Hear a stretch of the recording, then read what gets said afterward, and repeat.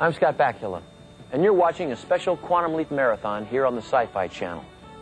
In his many leaps through time, Dr. Sam Beckett ran into some weird situations, but nothing more unusual than the one you're about to see. Do you believe in flying saucers, little green men? Whether you do or not, I think you'll enjoy this close encounter with Quantum Leap.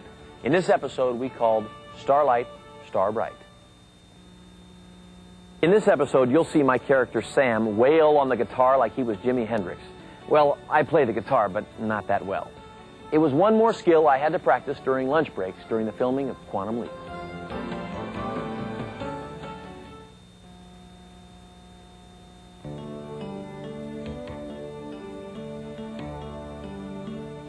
I'll let you in on an inside joke. In this episode, we see Sam dragged off to a mental hospital.